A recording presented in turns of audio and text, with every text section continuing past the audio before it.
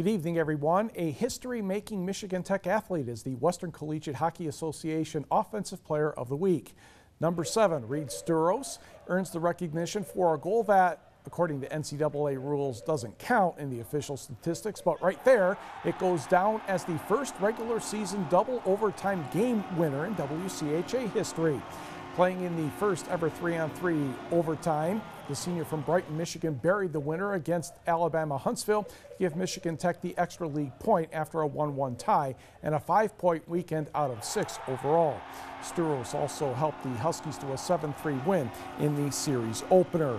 Tech travels to the University of Michigan this weekend. Lake Superior State's Owen Headrick is a co-defensive player of the week. All five Northern Michigan University Olympic Training Site Greco-Roman wrestlers who competed in the Eduardo Campbell Cup in Panama City, Panama, came home with medals. Dalton Roberts of Fowlerville, Michigan won the gold medal at the 130-pound class after taking bronze a year ago.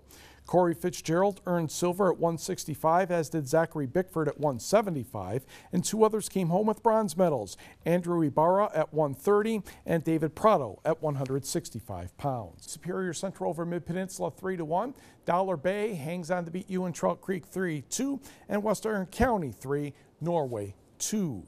In high school cross country, the Marquette County Relays took place in Marquette, hopefully missing all the rain. Negaunee won the boys team title by five points over Ishpeming with Marquette third. Miners Colton Yesty and Thomas Ziegler won in just over 30 minutes.